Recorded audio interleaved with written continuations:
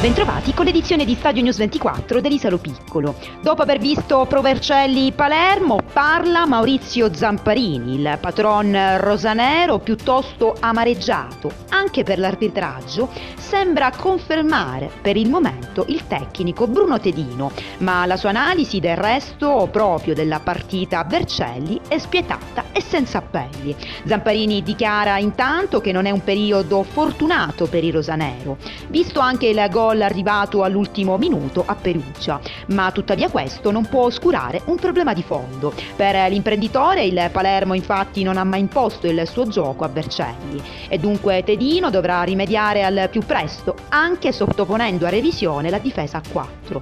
Il patron lancia dunque alcune frecciate al tecnico, dichiarando come sia più importante tirare in porta piuttosto che effettuare il possesso nelle varie fasi di gioco. Ascoli sarà quasi certamente l'ultima spiaggia proprio per Tedino. E dopo il pareggio in Lombardia, in casa Rosanero, si pensa già al turno infrasettimanale con il match di martedì in casa contro l'Ascoli. Ancora problemi di infermieria in vista di una sfida sostanzialmente da dentro fuori proprio per Tedino. Il tecnico è pronto a tornare ad un assetto a tre che prevede Belusci Struna insieme a Rajkovic. A centrocampo Rolando si adatterà sulla sinistra per ricoprire il ruolo di esterno. Anche su richiesta dello stesso Zamparini, Rispoli invece giocherà sulla fascia opposta, a destra.